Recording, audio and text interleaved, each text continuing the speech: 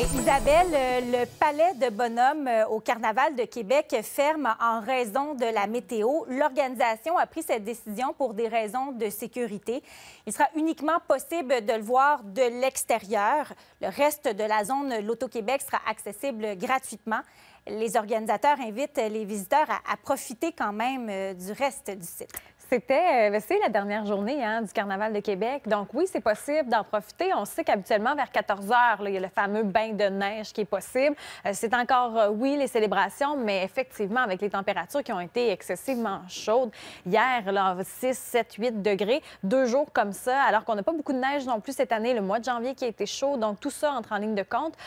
donc, Bonhomme devra célébrer à l'extérieur pour cette dernière journée à Québec. Aujourd'hui, par contre, les températures, on va sentir, c'est un un peu moins chaud. On garde la douceur. On est au-dessus du point de congélation tout de même, à Québec aussi. Et plus la semaine va avancer, plus on va gagner nos normales saisonnières. Donc, pour les skieurs et planchistes, on garde espoir. Le soleil également devrait être un peu plus insistant. J'y reviendrai euh, un peu plus tard. À tantôt, Isabelle. À tantôt.